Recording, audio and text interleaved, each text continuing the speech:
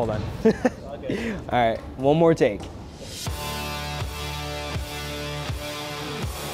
Hi, my name is Kennedy Santiago. I've been working with Parks and Rec SafeKey for about six plus years now. My six plus years with Parks and Recs has been spectacular. We're very flexible with our schedule, so if you have classes that take place in the middle of the day or in the afternoon, we will work around your schedule. If you plan on working with SafeKey and you're a high school student, college student, I would definitely highly recommend working with SafeKey. Um, so what I want from you guys is just to join our team and get paid to play.